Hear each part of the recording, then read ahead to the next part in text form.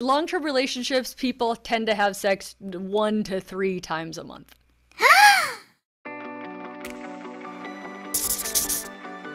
All right, ladies and gentlemen, thank you so much for joining us again. Although I think we probably will excuse the fellas. I don't think you guys are going to find this that interesting.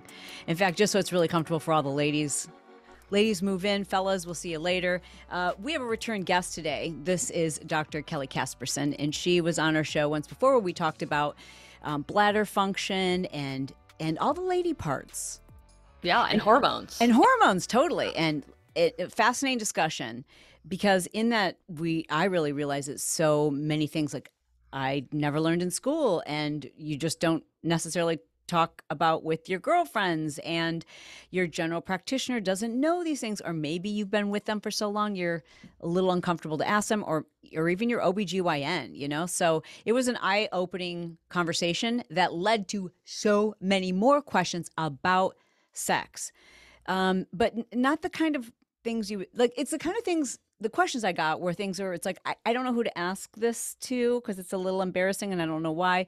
And Kelly, you were like, "Oh, bring me back on. Let's do this." yeah, more sex, more sex for everybody. so let's like get the elephant out of the room or whatever. And um, can you just like say all the words that everyone's super uncomfortable to say so that we just get them out on the table? yes, clitoris. Thank you.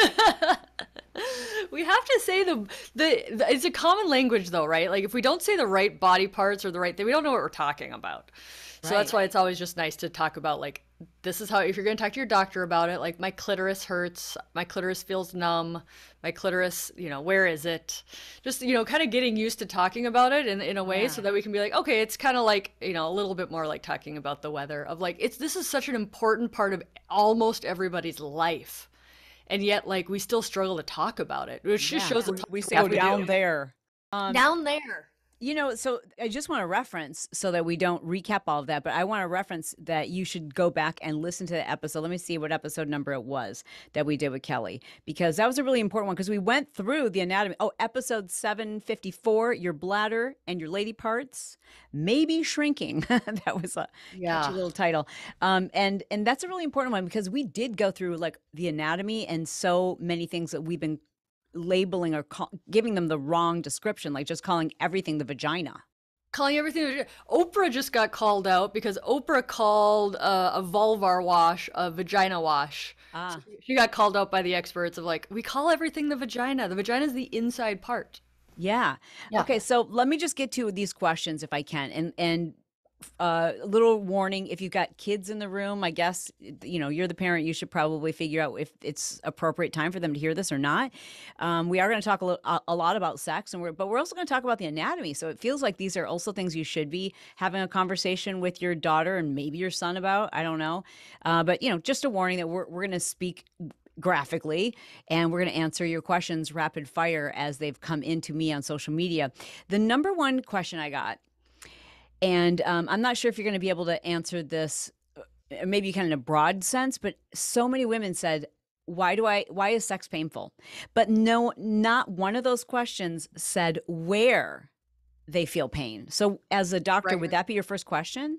yeah yeah i get i spend a lot of time getting very specific right because again it starts down there right Yeah. and that could be like that could be your clitoris, your labia, inside the vagina. I always try to break down is it just on penetration, which tells me more vulva entry. And if I if I use my hand as a vulva for YouTubers, that six o'clock gets really tight and dry after menopause. It's just kind of a I call it a pain point for the vulva. So is it on penetration or is it deep, right? Is it deep? Oh, he hits the cervix, um, or I have scar tissue there because I've had, you know, pelvic surgery. So you get very specific about it because it might be muscles, it might be skin, it might be scar tissue to figure out you know where we should target number one pain with sex is never normal it's never okay um, but the studies say, what is it, like 20% of women have pain with sex, which is a huge percentage.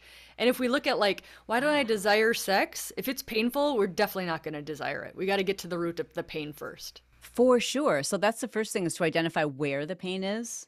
hmm And do you hear that it is more common for women who are perimenopausal or experiencing a hormonal change?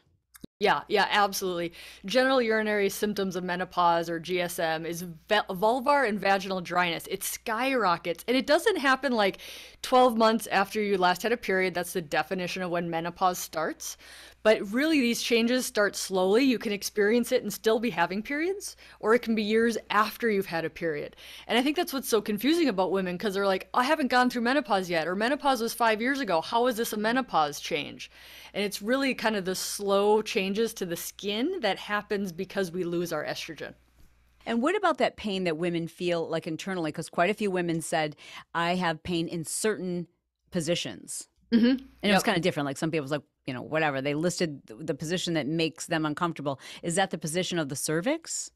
It could be um, for the for unless you're really really aroused hitting the cervix is actually can be very painful kind of normally it's just a part of the body that it wasn't really designed all the time to feel pleasure right so sometimes i say well just hitting the cervix forcefully can be cause pain mm. but sometimes it can be you know position or the other thing we don't pay attention to is like size discrepancy we have very small women and some very large men and like sometimes the anatomy just doesn't always match up. So you just have to kind of acknowledge it's not always your fault. You might have an above average human you're playing with and then just work on work on positions that are comfortable. Lube is always our friend. Lube is always the answer. Let me ask, thing- let me let me tag on that one real quick then because quite a few women asked is there a a safe lube? Is there a lube that you would recommend?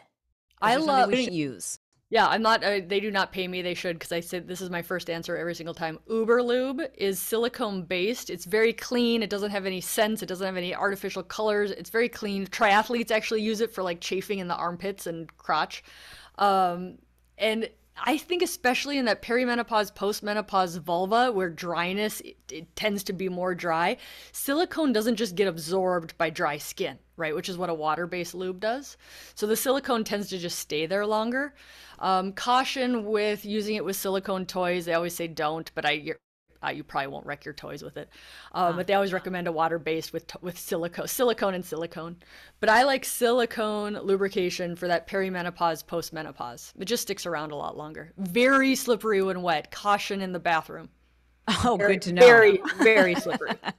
um, a- another person asked, um, "How do I use lube without offending my husband because he really thinks that this is just me not being turned on by him. Ah, this so this is I mean this starts getting into the root of like when we don't communicate, this is what we all assume, right? Mm-hmm. The, cl- the clitoris is not a self-lubricating organ. The penis is not a self-lubricating organ. We need lubrication in order to have pleasure with friction and not pain with friction.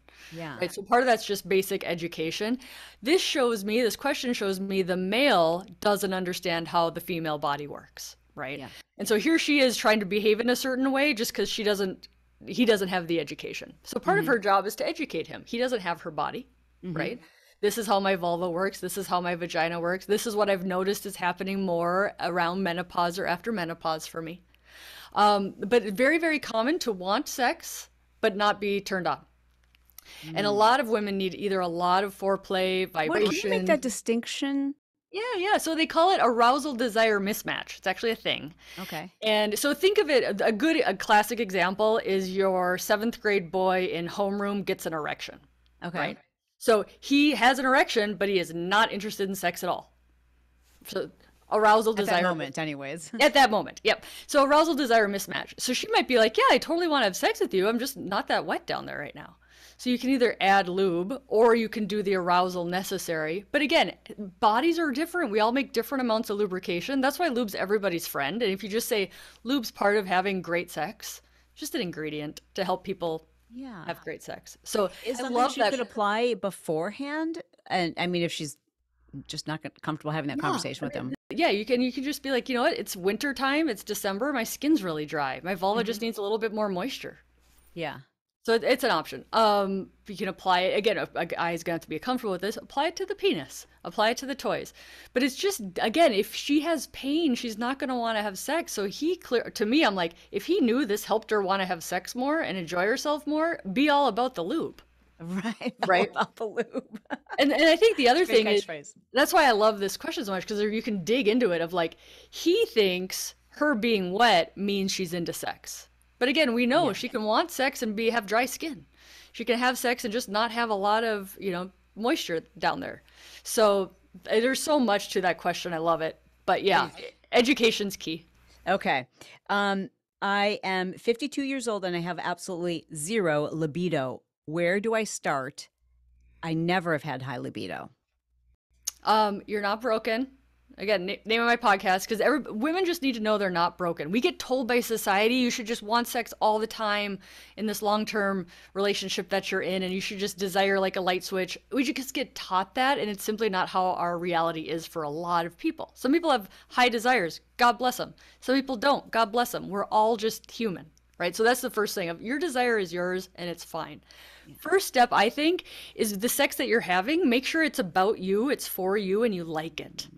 Because if you're having, you know, duty sex or just to make him happy sex or get it over with sex, you, there is no desire there. You really have to make the experience be joyful and it's got to hit those dopamine receptors, right? And if it doesn't hit those dopamine receptors, you're not going to want it or crave it in the future.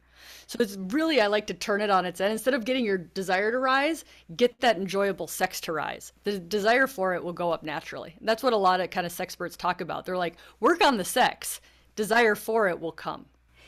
And that's so much easier said than done, especially if this person has been in a relationship with her partner for who knows, 30 years maybe. Yep. And they've never had that discussion. There there's a habit, there's routine when it comes to sex and expectations, etc. Um, th- that lack of communication becomes uh, a habit. So is there is there a book or a place you would suggest women who just don't even really truly give themselves permission to experience pleasure don't give themselves permission to to ask for what they need or to communicate what it is they want. Yeah. Um, reclaiming desire by barry mccarthy is excellent. Okay. can, again he t- and it's good for men and women. There's stuff in there for erectile dysfunction and male low desire also because both men and women want more desire. Uh, women we kind of stereotype women are the ones but we know that about a third of relationships the man has the lower desire. And just realize in any relationship we've got likes and dislikes of two different people that we're trying to marry into you know a plan that works. Mm. so like i like to eat out at restaurants every night. He likes to cook. Okay well can we find something that makes us happy you know in our home? Even when my bladder feels empty it feels like i'm going to urinate when i have an orgasm. That's what someone said. Mm-hmm, mm-hmm. Um, might just be how your body is um, might be some women squirt, right? So they do release some fluid, and you might be feeling that. That might be what's going on. Um, if you're more of, I'm just kind of guessing, but saying sure. there's different scenarios. If you get, you know, that perimenopause, postmenopause, the bladder does tend to get a little more urgency or overactive bladder because of low estrogen. So that could be what's going on. So uh, an estrogen supplement there, or talking yep, to yep, okay. vaginal estrogen which we talked about in that previous episode. So go back and check that out if you have a hunch that could be what's going on there. Yep. Can we talk about squirting for a second? Because that is something I wasn't expecting to get so many questions about. Yeah. Um, I didn't know it was so common. And so let me give you like kind of a rundown of some of the questions. Yeah. Some women said, How come I can only squirt in this position? I don't know anything about it. So I don't know if is that more enjoyable? I have no idea. Um, and other a couple of other things where um, I I was a squirter with my past husband, but I'm not with this husband. Why? Yeah, so squirting is a first of all it's super trendy right now like people are like selling classes on learn how to squirt it's kind of like a you know it's i don't know trendy but. Some women squirt. I just did a podcast episode on this with Dr. Teresa Wood, who knows a lot about squirting. Um, so there's one one reference for you. Okay. But you're either a squirter or you're not, and everybody's okay. It's just how your body works. But some women will release a large amount of fluid. Ah. Maybe it has a little bit of urine in it. Maybe it doesn't. Maybe it's more like the prostate. There's not a lot of studies on squirting, right? So it's kind of hard to know for sure. But um, a lot of people say, well, who cares what it is? If it feels fantastic, we don't care what it is. So for the women that do squirt, does is the orgasm different when they do squirt versus when they don't? For for some people. And the other thing is some women can squirt and it's not related to an orgasm. It's more related to kind of an upward pressure on the anterior vaginal wall, which is where the prostate is in, in men right? And so that's where a woman's prostate, we have a very, very small amount of cells that could be a prostate, depends upon who you ask. But basically, where the urethra is on the anterior vaginal wall, stroking that and sometimes stroking it forcefully, it can cause the release of all that fluid. It's described to be very, very pleasurable for the female. Oh. It's not, there's nothing wrong with you if you squirt, there's nothing wrong with you if you don't squirt.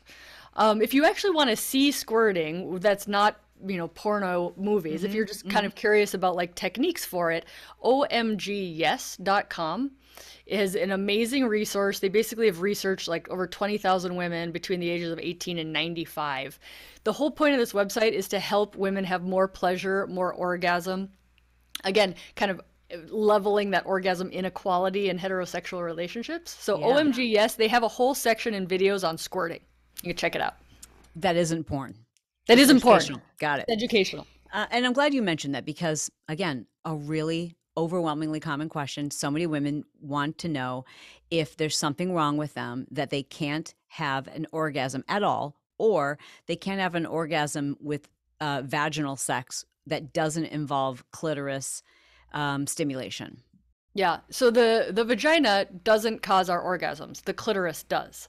And anybody who's having vaginal intercourse who has orgasms, usually there's some clitoral stimulation, either externally or the clitoris wraps around the vagina. So you're getting kind of stretch and pressure through the walls. Um, totally normal. You are normal if you're not having an orgasm from vaginal penetration alone. Totally fact, normal. Would you almost say it's abnormal for, if a woman it's it's more uncommon, yeah, I should say. It's more uncommon. Yeah, yeah. Okay. Um and, and, what we've done is we've said, well, it's very easy for men to have an orgasm by putting a penis in the vagina, so it must be the vagina that gives the woman the orgasm. No, her penis is the clitoris. Mm. And so we really have to kind of expand the paradigm of what heterosexual sex is to make sure everybody's having equal pleasure. But so many people, we've narrowed it so narrow into penis goes in the vagina, we feel like we're broken when our experience doesn't exist within that small, narrow window. Again, OMGS does so many different techniques for focused on female orgasm. And did you so, say it was OMG yes or OMGS? OMG, hell yes. So it's yes, Y E S. Yes. Okay, got yeah. it. That's a great one. Yeah, it's a great website. It's and it's a nominal cost to get to get in there. Okay, so I'm going to ask this one, even though it makes me a little uncomfortable. Is anal sex in a long term relationship safe for your body? And I don't know why they said long term. I guess maybe to say like it's with the same partner. Yeah, or maybe they mean like many years of anal sex. Mm-hmm. Few people have asked that question in different ways, and and what I sense they're asking is like could I be uh, wrecking my own uh, digestive system or stretching things out, those sort of things? Yeah, there, there's not a lot of research on it. Again, as far as like, do we have data to support? But there is some data on uh, homosexual relationships. So men who have sex with men, the men who are the receivers, they're the ones who are kind of I've had sex, anal sex for many, many years. They can have a little bit more muscle laxity around the anus mm-hmm. um, which can lead to either fecal incontinence or you know letting passing wind when you don't want to. Mm. But I'm not saying that that's what's going to happen. There's just some data saying if you stretch your anus a lot, you might have trouble with your anus muscle. Here's what I think. Again, I think anal sex is kind of trending like squirting right now. Mm. And what the researchers are noticing is because of our video and porno world that we live in, yes. we're very performance based now. Like, I need you to squirt for me. I need you to blah blah blah for me because it's like this performance instead of a pleasure experience. So the researchers are noticing people kind of being interested in this. Hmm. Um, which I'm so, again, I'm so glad that I'm been married to the same guy for forever and don't have to be out there. to worry about the performances. Yeah, the yes, performance thing. Other than for him. Yeah, totally. So yeah, squirting, anal sex. I I just want women to have pleasure. Don't do anything that hurts you. Speak up for what feels good. Speak up for what doesn't feel good.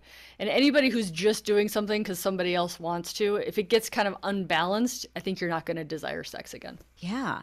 I just am surprised that so many women don't realize that they need, um, that the majority of women need clitoral stimulation to have an orgasm. And so yes. they, they, all these, like, I, I don't know that I would look forward to sex either if I wasn't always having an orgasm. Yeah, totally. You know? And then you and then you try to fix your desire instead of fixing the thing that you're wanting to desire, right? Yeah. Which is which is so fascinating because you're like you got to focus on the sex that you're having. But think about it, like how many women or men, for that matter, got taught about the clitoris in sex ed. It's disease and pregnancy management class. Totally. Not, not pleasure class. Totally. Yes, and how to have a baby.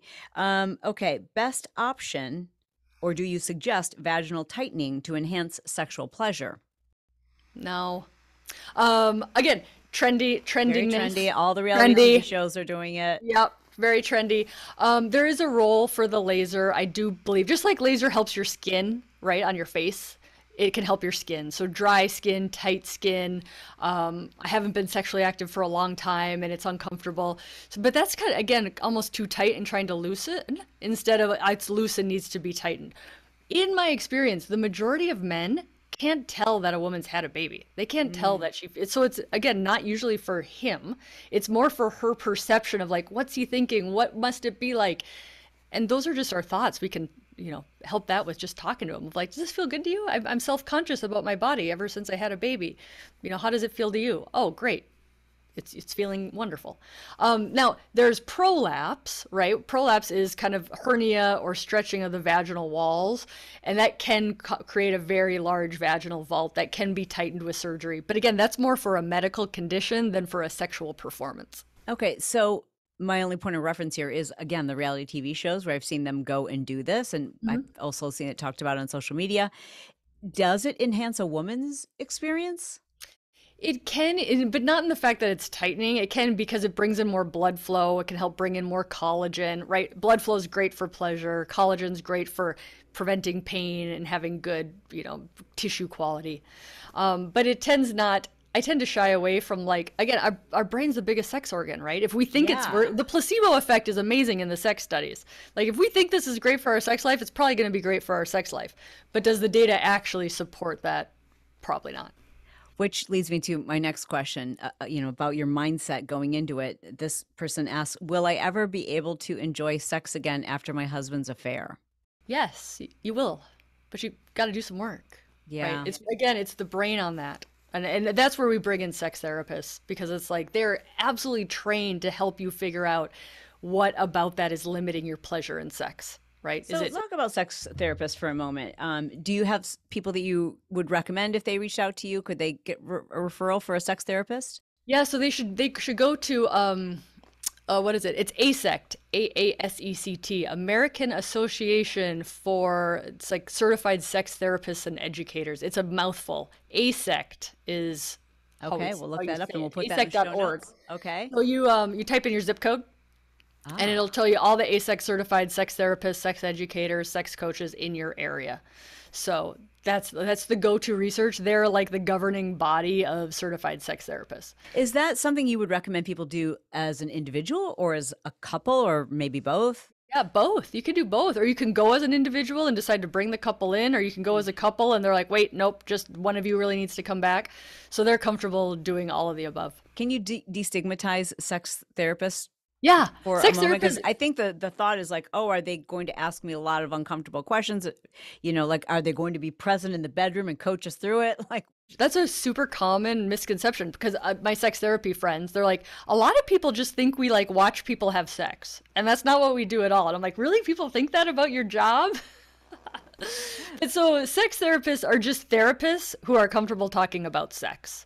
Which, in the same way of like doctors who can help you with sex, are just doctors who are actually comfortable talking about sex. So they're trained therapists, a lot work in communication, how to communicate what your needs are, how to find out what you like, you know, how to go about figuring out a sex life that works for you. So just kind of talking about that in a there's it's amazing how many marriage and family therapists still aren't cool or comfortable talking about sex. wow. And sex know is what- huge in in marriages. Absolutely. And it can be such an important piece that people are just okay with it not being there or happening very infrequently. And it can just bring so much more enjoyment to your relationship. But I also think that there is this um, kind of a, because so many people have experienced uh, sexual traumas and childhood sexual abuse that I always wonder be, because that number's so high, that has to affect people's sex life. Oh yeah, absolutely. Oh, I think this last I was just reading about this. It's like one in four people have suffered abuse of, mm-hmm. of whatever, so however you want to uh, define that. And so it's like to think that you'll never have great sex is not true because we have many, many people who've been through really uh, bad things who have great sex lives right? So it doesn't mean you can't have a great sex life. It might mean you need some tools, you need to talk it through, you need to figure out where your hangups are, but it's yeah. absolutely possible to have great again, sex is about you. It's about you and pleasure and enjoying life. So it's like why wouldn't you want to try to have as much joy in, in that arena as you can? And I think for so many um, cultures, and sometimes maybe the way you were raised, or even in your own household, uh, sex can be made to seen as something that's dirty, something that's bad. You know, and, and having conversations with friends who were raised in a very, very um, religious household, where you know, sex is bad. Period. End of subject. Unless you're trying to procreate, and then mm-hmm. they get married, but they've been um, conditioned for you know 20 some odd years that this is bad. And then yeah. how do you flip that switch that they're like, oh, I have this piece of paper, so now it's good? Yeah, I know. It's a mind trip for sure.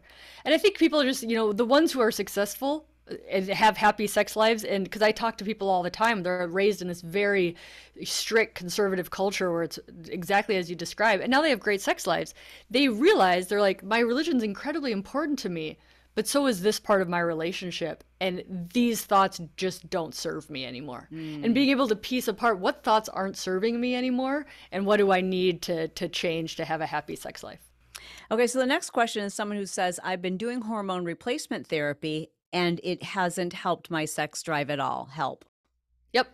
Um, so my question would be: Is testosterone involved in that because a lot of hormone replacement therapy isn't it's just estrogen progesterone. And estrogen really does help a lot of people with their sex life mostly because it helps the menopause symptoms of fatigue anxiety sleep hot flashes. If you have that going on you're not going to want to have sex right? Right. So just giving you estrogen to help the menopause symptoms can improve your sex life but estrogen itself isn't really the hormone of desire testosterone is. And testosterone also goes down as years past menopause go on. So, one way to use testosterone, really the only way, and it's still off label, not FDA approved, but sex uh, doctors are comfortable with it, is giving women a level of testosterone, which is still in the realm of female, but just gives them what they had, say, when they were 30 and ex- instead of when they're 55. Mm-hmm. Right. So testosterone is the hormone of desire. If you then take testosterone and you still don't have the desire you want, now we got to work on your sex, right? What's mm-hmm. the relationship? What's the sex you're having? Are you making time in your life for pleasure in general? Are you, you know, mm. are you paying mm. attention to the clitoris? All these other pieces. Because I think where people get tripped up is they're like, just give me the hormone to have amazing sex. And it's like you can. Ha- there's plenty of people with great, you know, normal hormones with crappy sex lives. So it's not always yeah. just a one one. And is it so much more mental for women than it is for men?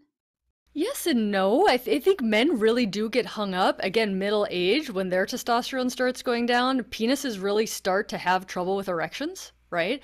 And then they realize, whoa, pleasure and arousal really is important because it isn't the light switch that it was when they were 20. So I think it's so automatic early on for men that it, they can kind of get tripped up and not know what to do when they actually have to do a little bit more work like women in, you know, that age group do.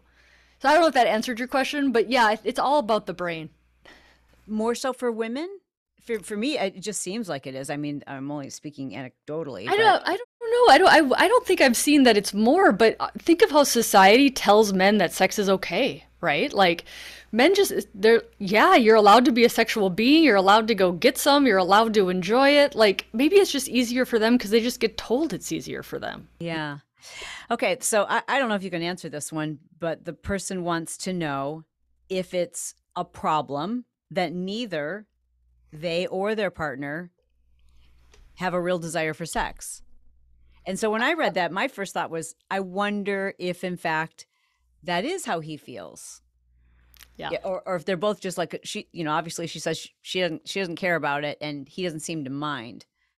I would say that's probably that could be a more common scenario, like because couples just don't talk about sex. So then we just mm. assume we like layer cake assume things, right? Yeah. So she's like, "Well, he doesn't pursue me, so he, that must mean he has a low desire." Do we actually know that? Did we ask him? Or is she assuming it? So you're already starting to think like a sex therapist.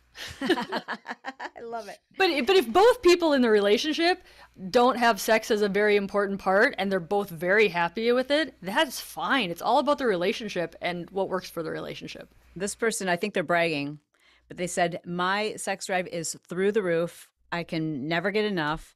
Is that bad? I think it's only bad if it hurts, you know, if is it hurting somebody? Is it hurting you? Is it hurting the person you're with as far as like I can't work, I can't sleep, I you know, like is it becoming a destructive force in your life or is it bringing you joy? Is it bringing your partner joy? Mm. I think about that more than good or bad. Good or bad's oversimplifying how complex this stuff is. Yeah, and also I think once something becomes very disruptive, uh, like exercise is a good thing unless it is has overtaken your life and it's your every thought and now it's interrupting your ideas of you know meeting with friends or you've got a cold and you shouldn't exercise and you're beating yourself up then then it's a problem and yeah. you should probably talk to somebody about that. Exactly. Totally. Um this person wants to know if it's or why it is that they can only have an orgasm when they're on top. Oh it's probably angles and friction. So maybe experiment with toys yeah. Yeah. Okay. Yeah. Love it. You know, they get, it goes into that performance. Like, well, I've got to be able to experience an orgasm in every room, in every position, in the shower, in the hot tub, and it's like, well, no, just have fun, know what works best for you, like experiment if you want to. Yeah. But you know, when people kind of beat themselves up of like, my body only works this way, it's like, oh, it's great, you're having an orgasm in that position, awesome. Yeah. Um, so uh, quite a few women asked why their the scent changes for them after childbirth and or after menopause. Are they saying this like the smell of their vulva and vagina? Yes. Yeah. Yes. Okay. Um, I'm like, does it is it how he smells? Okay, so um, well, after childbirth, your vagina just had all of it, the uterine contents go through it, right? The the uterus is still healing. There's so much going on down there. Um, plus, you have low estrogen, because if you're breastfeeding, you have low estrogen, high prolactin, which mm-hmm. is another reason that sex is painful and dry right after childbirth. Um, so hormones there, and then post menopause, we have drier skin. We don't. We have a, the pH of our vagina actually changes when we lose our estrogen, which is really important for many reasons. Number one, it prevents urinary tract infections by having a, an acidic pH. Yes. And so we add estrogen back in in women who get recurrent UTIs to re-acidify the vagina, which fights the E. coli and stuff like that. So your pH is legitimately changing because of low estrogen, which I would think can affect the smell, your you know, your biome, your microbiome changes. Yeah. So that's probably what happens. And I just don't think many people um, are comfortable talking about that for whatever reason, but they should be. And as we, you might want to go back again to reference that prior podcast that we did together, um, because we talked a lot about that and the common uh, complaint that so many women have about UTIs and just bladder pain, et cetera, and how how commonly that is related to their estrogen levels. Yep, yep. So as far as smell, I would say like if it's a foul discharge, go get checked out, rule out an infection. But if you're like, hey, this is just kind of what's happening to my body at this stage of my life, and if it's not causing you like itching, burning, pain, stuff like that, it might just be uh, normal changes. Mm-hmm. Um, a lot of people ask, and I, I, think I know your what your answer is going to be, but quite a few women asked, um, what is the right amount of what? How much sex should should I be having? What's the average? Yeah, like they're very concerned with like, are we doing it enough? I know again we're performance based right like yeah. this is what our society has come to of like how do i measure up against all other humans it's like uh, that's not what sex is about you guys it's not there's not an olympics to be run here yeah. so i always shy like i know the data but i shy away from because i think you know it's like eight hours of sleep 30 minutes of cardiovascular exercise eight fruits and vegetables sex two to three times a week like it gets into that like checklist to do and once totally. you start checklist to doing sex don't wonder where your desire went yeah it went away because you just made it a to-do list. Totally. Um, the uh, long-term relationships, people tend to have sex one to three times a month. A lot more, some less. They they actually because you have to define this stuff if you want to research wow. it, right? So like a yeah. sexless marriage is less than twice a month. Wow. Low sex to sexless marriage. Wow. So, okay. That's considered sexless. I thought sexless meant you just you hadn't had sex in whatever years, months, weeks. Well, yeah, they have to define it, right? When you're going to research people, you have to like figure out if they so they define it.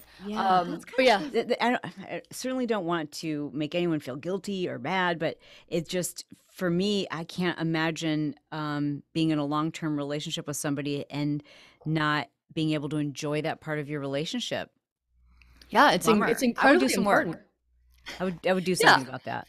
But I mean, the, look at where so many women are in their life, though. They've got kids at home, maybe a newborn, they're at school, or they've got a job. Is like, we are busy, busy, busy people.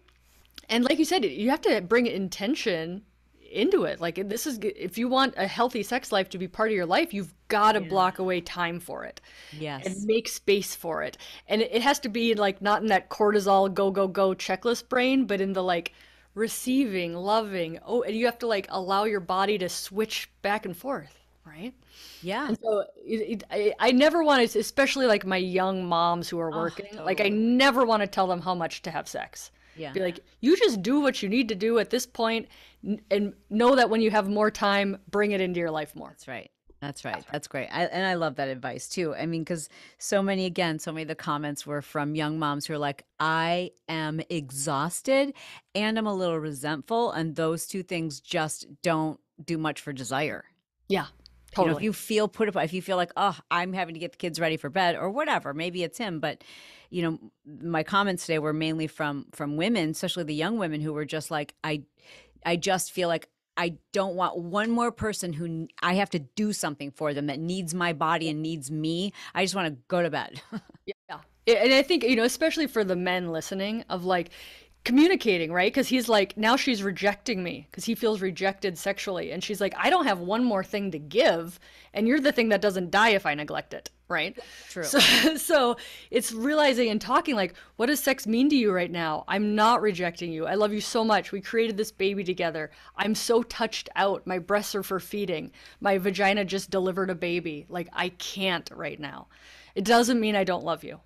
So it's like those. It's really a stressful time for for couples, and it, it universally happens to couples Yeah. that the, having a baby is can be very very challenging to sex lives. and you don't feel sexy. I mean, I, am speaking for myself, I didn't. So I, I just want to say to those young moms out there, it does get better. It really does. It does get better, absolutely. And but life ta- gets easier, man. When they when they just start driving, life. Ch- when one of your, if you have more than one kid, when the first kid gets their license, your life gets so much easier. yes, you, and sleeping through the night. Huh, man. Huge. We know if you're not sleeping through the night, you do not have a sex drive.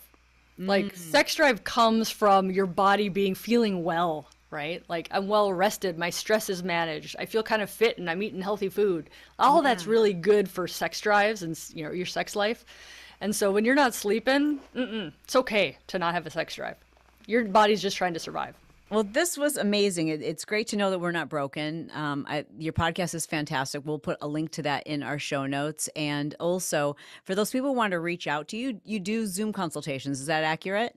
Yes, well, I only see people, doctor, physician in Washington State, but I do a lot of Instagram lives where I do question and answer like this all the time. So people can DM me on Instagram. And then if you're on my email list, you get the Zoom link to my monthly live podcast recordings. And they can sign up for that on your website. Yep, yep. Okay, this is really important, and it's it's such a beautiful, pleasurable thing. Um, and I think if we just ignore it and think, well, must be something is wrong with me, or like I don't need it, you you just could be missing out on just a really beautiful connection between you and your partner, and the joy and pleasure that you deserve. Totally. And personal growth. Like I was talking to, it's like se- your sexuality is like the last pillar on your personal growth journey. Like when you figure out your sex life and your sexuality, like other things start going well too, like your job and your confidence and you know all of that stuff. So it's like it's a great personal growth to figure out your sexuality too. I love that. I love that. It's um, it's actually true. I never thought of it that way. Well, thank you so much for being a guest here, um, Kelly. We definitely want to have you back again because people, I mean, especially the women in my audience, we we have a lot to learn, and you are a wealth of information. I just love how you put it. Like you just don't make it weird. You don't make it awkward. It's just Yeah. so chill, and your approach to it makes it so much more fun and enjoyable. it's so fun to share my knowledge with people and to help them figure out how to navigate this because we don't get any education right? We get No. no education. So it's my pleasure to be able to join with you today. Let's end on that. Sex education. I mean, is do they still do sex education in schools? Uh, only if your state mandates it, right? And so it's state mandated. So it's like 20 states mandate it. Of those states, only a small percentage actually have to be medically accurate. None of them mandate talking about pleasure, Oh. right? So it's like think back your sex ed. Like we learned about the the vagina and the uterus, not the clitoris. No, Right. nothing about pleasure. Zero. Nothing about the pleasure. And so here we are thinking we're broken, but we just don't have the education. There's so much out there. Which just does place a stigma on it. You know, like it must be a bad thing if we're not talking about it. Yes, exactly. Well, I didn't, you know, they never taught me anything, so there eh, there must not be anything to know. Yeah, right. Well, you're amazing. Thank you so much for being here. We appreciate it. And everybody, if you're watching, please remember you can leave comments below the video. Um, I would encourage you to subscribe. You can send this send this video to your girlfriends because this is the stuff that maybe you guys aren't talking about as friends, but some questions will be answered in this series. And as always, thank you for subscribing.